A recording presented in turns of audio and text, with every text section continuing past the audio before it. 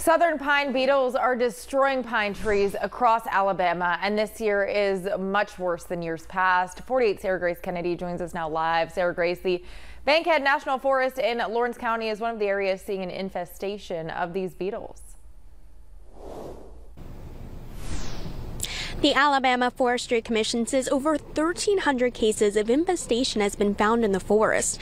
I've been told that the forest did not get enough rain last year, and this led to the pine trees being weakened.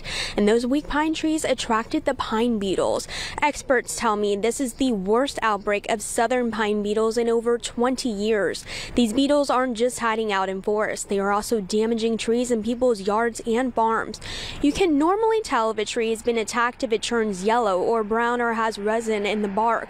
Drew Metzler with Alabama Forest Commission says these beetles are really good at doing a lot of damage in a short amount of time.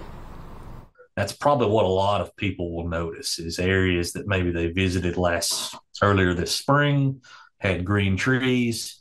They go back there now, they'd see a lot of brown trees or maybe completely defoliated pines altogether.